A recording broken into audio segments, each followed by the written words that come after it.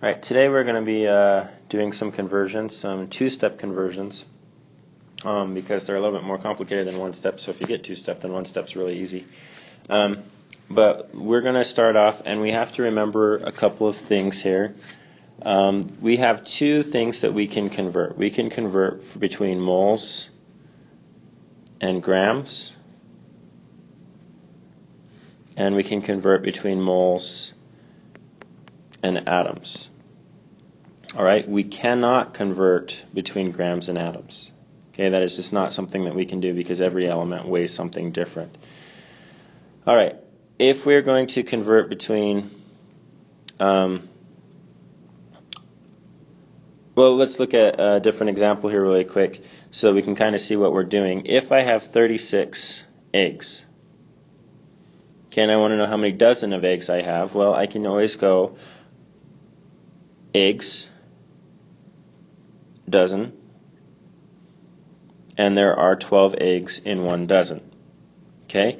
So this number here, this is things that are equal to each other. 12 eggs is equal to one dozen eggs. All right? These two numbers don't have anything to do with each other other than the fact that they both have eggs in them. Right? So when we set up a problem, if I say that I have 17.3 times 10 to the 25th atoms of acetic acid, then when I set up my table, I can go back and say, okay, well, I know that I can convert between atoms and grams, or atoms and moles and I can convert between grams and moles. Okay, so I'm going to be looking at this one, these things that equal each other. So if we go back to that number, we have 17.3 e to the 25 atoms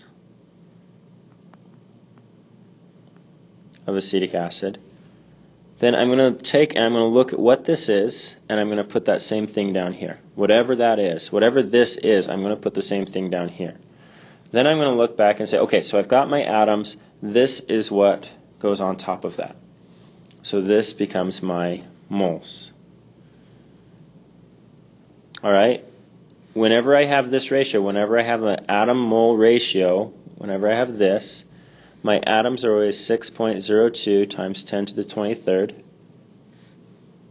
My moles is always 1.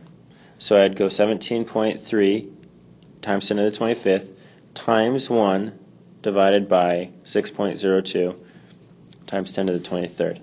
That is going to give me 287.375 moles of acetic acid. Now both of these hydrogens are the same hydrogens. Um, they're separated for a different reason. We'll talk about that um, in like November, so don't worry about that right now, but they are both hydrogens. All right, so I have here three sig figs. Sorry, three sig figs. Here I have three sig figs, so my answer should also have three sig figs, so this is going to be 287 moles of acetic acid. Okay, I'll take that forward, 287 moles.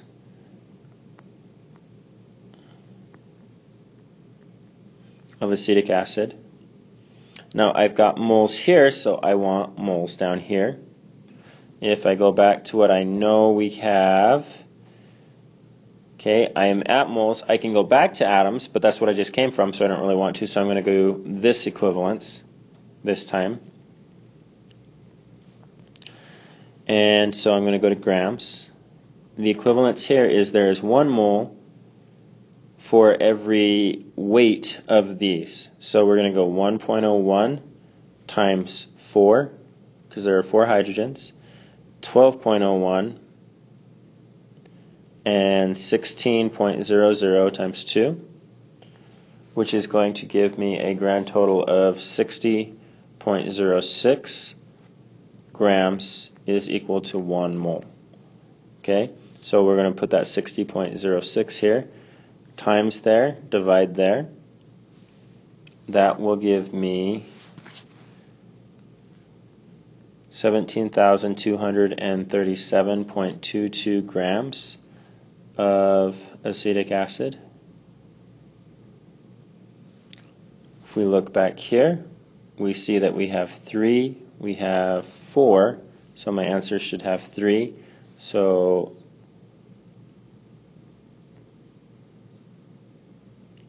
of acetic acid.